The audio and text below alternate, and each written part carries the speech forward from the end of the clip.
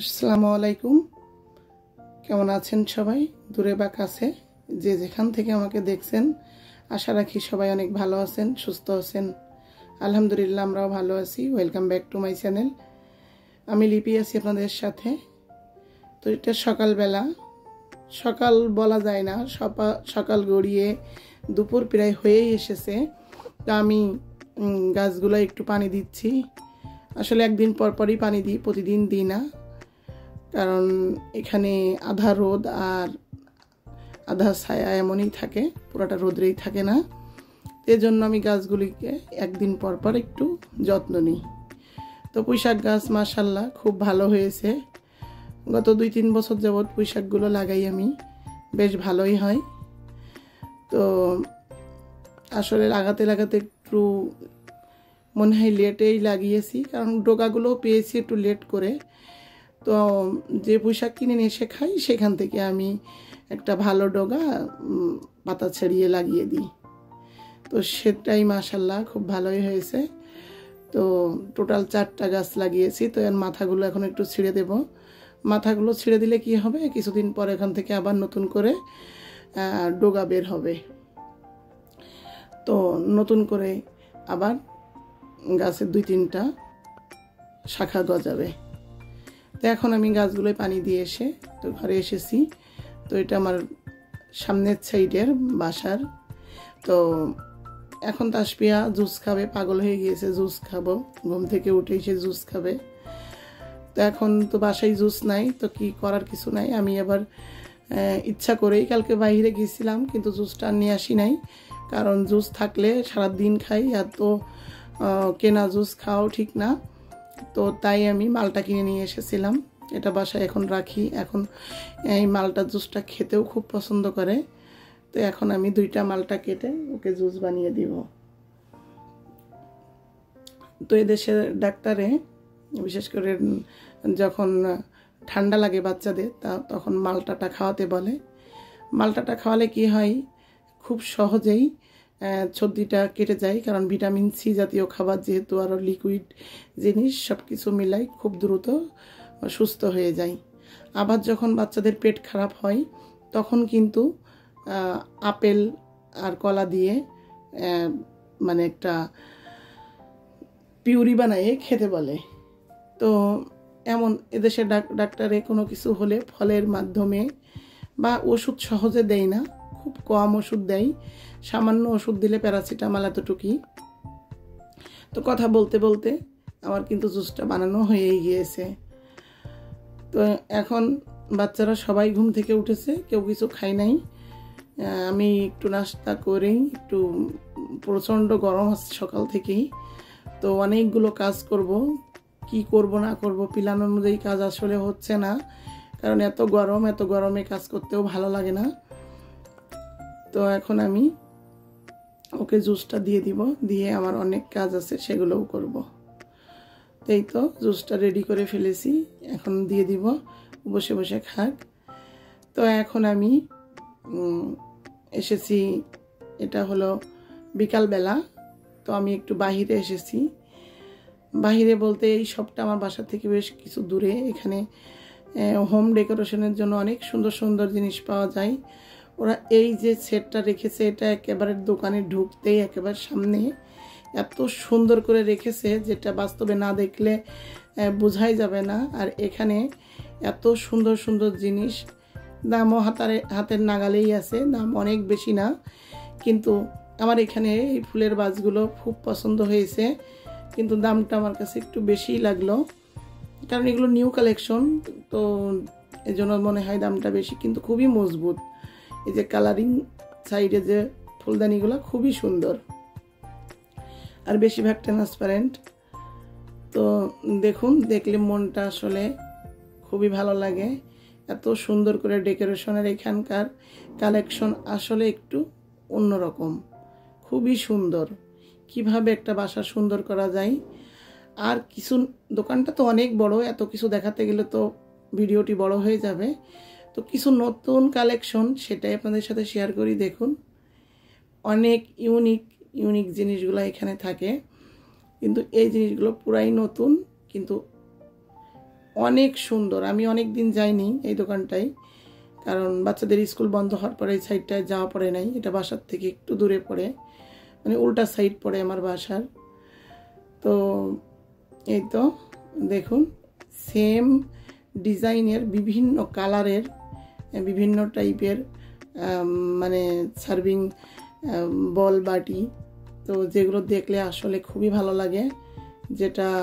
মানে ভালো লাগার মতোই বিভিন্ন কালারের এত সুন্দর কালার কম্বিনেশন খুবই ভালো লাগছিল এক কথায় অসাধারণ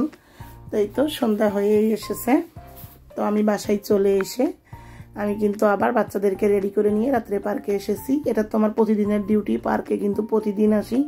প্রতিদিন তো দেখাই না কিন্তু দেখুন দুই ভাই দুই দিক থেকে বোনকে দোল দেয় এই যে দোলনাটা এরা এটা কিন্তু বেশিরভাগই বড়রাই দোল খাই এক এক সাথে ছয় সাতজন উঠে কেউ দুই সাইডে দুইজন দাঁড়ায় এমন জোরে রাপলি দোল খায় যেটা দেখলে আসলে ভালো লাগে না তো আমি পার্কে যাই একটু দেরিতে জাস্ট সাড়ে এগারোটা বারোটার দিকে যাই এক দুই ঘন্টা খেলাইয়ে নিয়ে চলে আসি কারণ নিরিবিলে থাকলেই ভালো লাগে না এত ভিড় থাকে কি বলবো যেখানে শ্যুট করা তো দূরের কথা নিজেরই ভালো লাগে না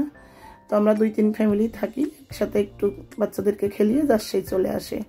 যেহেতু বাচ্চাদের স্কুল বন্ধ পড়াশোনার ওরম চাপ নাই তো এই জন্য লেট নাইট বাইরে থাকলেও সমস্যা হয় না তো এখন আমি বাসায় চলে এসে বাচ্চাদেরকে হাত মুখ ধুয়ে দিয়েছি দিয়ে ওদের খাইয়ে তো আমি চলে এসেছি কিচেনে আমি একটু দই বানাবো অনেক দিন দই বানাই নাই তো আমার ছেলেরা ঈদের সময় বানাতে চেয়েছিলাম আসলে ওদের বাবা অসুস্থ থাকাতে মনটা ভালো ছিল না তো তাই আর বানাতে পারি নাই তো আমার ছেলেরা আমার হাতের দইটা খুবই পছন্দ করে দই কিন্তু সবসময় আমার বাসায় থাকে যেটা মানে দইটা খেয়েই আমার বাচ্চারা বড় হয়েছে তো এই দইটা আমি এখন মানে আমি বানালে সেটা তো না ন্যাচারাল উপায়ে বানাই কেনাটা তো কেনাই বাসার জিনিস তো হেলদি খাবার তো তো সবাই জানেন তো এত পছন্দ করে কি বলবো তো দুধটা আমি একবার দাঁড়িয়ে থেকে জাল করা লাগে এই কারণে আমার কিন্তু এই সময়টুকুই হয় না তো যাই হোক আমি খুব সুন্দর করে জাল করে নিয়েছি আমি জাল করে দুই লিটার দুধ দিয়েছিলাম এখানে দুই লিটার দুধ আমি দেড় লিটার করে নিয়েছি দেড় লিটারের একটু বেশি আছে তো এখানে আমি ঠিক দুধটা মানে নামানোর চার পাঁচ মিনিট আগে আমি চিনিটা দিয়ে আবার পাঁচ মিনিট জাল করে নিয়েছি মিনিমাম তিন থেকে চার মিনিট আর আমি টক দইটা আগের থেকে ফ্রিজ থেকে বের করে একটা স্টেনারে করে একটা কাপের উপরে রেখে দিয়েছিলাম যাতে পানিটা ঝরে যায় ওর এক্সট্রার পানিটা তাহলে খুবই ভালো হয় তো আমি স্টেনারের মধ্যে দইটা খুব ভালোভাবে ফেটিয়ে নিচ্ছি এভাবে ফেটিয়ে নিলে কি হয় খুব সহজে একেবারে ক্রিমি হয়ে গিয়েছে কারণ এটার ভিতরে কোনো এক্সট্রার কোনো পানি নাই অনেকগুলো প্রায় এক কাপ পানি বের হয়েছে আমি দুইবারে ফেলেছি একবারেরটা তো দেখালাম এভাবে খুব ভালো করে ছেঁকে নিয়ে এখন আমি এই দুধটাই যখন দইটা টক দইটা মিশাবেন অবশ্যই দুধটা কুসুম গরমের থেকে একটু বেশি গরম থাকবে আর কুসুম গরম থাকা অবস্থায় নাড়তে নাড়তেই কিন্তু আর একটু ঠান্ডা হয়ে যাবে তো এই জন্য খুব বেশি গরম উচ্চ গরমে দেওয়া যাবে না আবার একেবারে ঠান্ডায়ও দেওয়া যাবে না একটু কুসুম গরমের থেকে বেশি গরম যেটা আঙুল দিলেও সহ্য হয় এমন তো আমি এটা হ্যান্ড উইক্সের সাহায্যে খুব ভালোভাবে ফেটিয়ে নিচ্ছি আমি পুরা কাজটা পাতিলের ভিতরেই করেছি কারণ এই এই কাজটা করার সময় অনেক সময় ছিটকে পড়ে যায় আর সব থেকে বড়ো কথা নোংরাও হয় সেগুলো ধোয়ারও একটা ব্যাপার আছে তাই আমি আর অন্য কোনো পাত্র নষ্ট করি নাই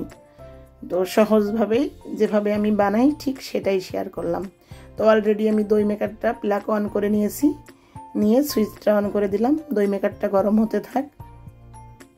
আর এখান থেকে আমি যে দইগুলো বা মানে বয়েমে দিব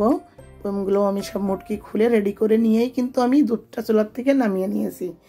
তো এই প্রসেসগুলো আগের থেকে একটু গুছিয়ে রাখলে কি হয় ঝটপট বসানো যায় এদিক থেকে দই মেকারটাও গরম হোক আর এদিক থেকে কারণ দই এমন একটা জিনিস একটু উনিশ বিশ হলে অনেক সময় হতে চাই না তাই একটু গুছিয়ে নিয়ে করলে ভালো হয় আমার মতে তো আমি এখন দুধটা দিয়ে দিচ্ছি তো আমি যখন নেড়েছি তখন কিন্তু একটু ফেনা ফেনা উঠেছে তাই সেই বুঝেই আমি একটু ভরে ভরেই দিচ্ছি যাতে ফেনাটা পরে তো ইয়ে হয়ে যাবে ঠিক মানে বসে যাবে তো আমি একটা মেজারমেন্ট কাপের সাহায্যেই দিচ্ছি আসলে আমি কোনো দিনও সনাতন পদ্ধতিতে দই বানাতে পারলাম না অনেকে বলে বানাই কিন্তু আমি অনেক চেষ্টা করেছি চেষ্টার কোনো কিছু ত্রুটি করি নাই কিন্তু আসলে দুর্ভাগ্যবশত আমার সনাতন পদ্ধতির দইটা ঠিক পারফেক্ট হয় না বসে না আধা বসে আধা আধা বসে না তো চেষ্টা করেও যখন পারিনি তো আর করার কিছু নাই তো ওই জন্য দই মেকার যেহেতু আছে আমার কাছে তো আমি দই মেকারেই করে নিই আর আমার মানে ছেলে মেয়েরা সবাই কিন্তু অনেক পছন্দ করে আমার বানানো দইটা কারণ আমি দুধটাই খুব বেশি চিনিও দিই না আমি এখানে কিন্তু চিনি দিয়েছিলাম দুই লিটার দুধে জাল করে আমি কিন্তু মেজারমেন্ট কাপের পনে দুই কাপ চিনি অ্যাড করেছি তো আপনারাও আশা করি এইভাবেই দিবেন আর আমি এখানে তিনশো গ্রাম টক দই ব্যবহার করেছি যেহেতু এখানকার দইটা খুব বেশি টক হয় না আর যারা বাংলাদেশে করবেন দই মেকারে তারা দুই লিটার দুধে যখন দুধটা কমাবেন কমানোর পরে ওখানে দেড়শো গ্রাম টক দই বা দেড়শো গ্রামের একটু কম দিবেন কারণ বাংলাদেশের বীজ দইটা খুবই টক হয় তো যেহেতু আমি বাংলাদেশি বাচ্চাদেরকে নিয়ে গিয়েছিলাম নিয়ে আমি কিন্তু দই বানিয়ে খাওয়াতাম তো সেই অনুমানটা আমি জানি তাই সেটাই বললাম তো এখন আমি সবগুলো মোটকি লাগিয়ে নিয়ে আমি এটা বানাতে দিব মানে মেকার দই মেকারে বসিয়ে রাখবো মিনিমাম আট ঘন্টা তো আমি কিন্তু দইটা বসাই সবসময় রাত্রে তাহলে সকালে উঠে খুব সহজে হয়ে যায় টেনশনও থাকে না তো আমি এখন সব কিছু বসিয়ে রেখে তো ঘুমাতে যাব তো ছেলে মেয়েরা ওদের বাবার কাছে আছে তো এই সুযোগে আমি এই কাজটা করেছি আর প্রচণ্ড গরম তো গরম লাগলেও করার কিছু নাই বাচ্চারা পছন্দ করে পছন্দর জিনিসটা মাঝে মাঝে করে খাওয়াতে হয় আর বাহিরের খাবারটা ওরা বেশি পছন্দ করে তো আমি চেষ্টা করছি না খাওয়ানোর কিন্তু তারপরেও হয় না তো আমি এখন খুব সুন্দর করে দইগুলো বসিয়ে দিলাম দিয়ে আমি এই ঢাকনা দিয়ে ঢেকে দিলাম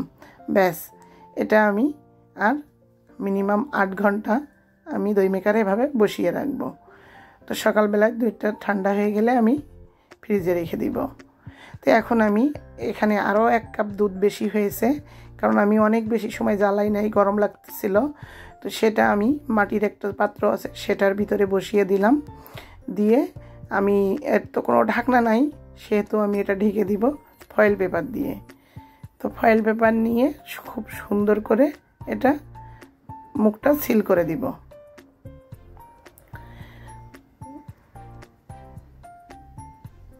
এই তো আমি খুব সুন্দরভাবে এটা সিল করে নিচ্ছি নিয়ে আমি এটা বসিয়ে রাখবো রাইস কুকারের ভিতরে আসলে ওভেনে রাখতাম কিন্তু দই এমন একটা জিনিস নড়ে গেলে কিন্তু ভালো হয় না তাই আমি চাচ্ছিলাম এটা আমি যেহেতু পাশে ছোট্ট বাড়িটা রাইস কুকারের ভিতরে বসিয়ে রাখি তাহলে খুব সহজেই বসে যাবে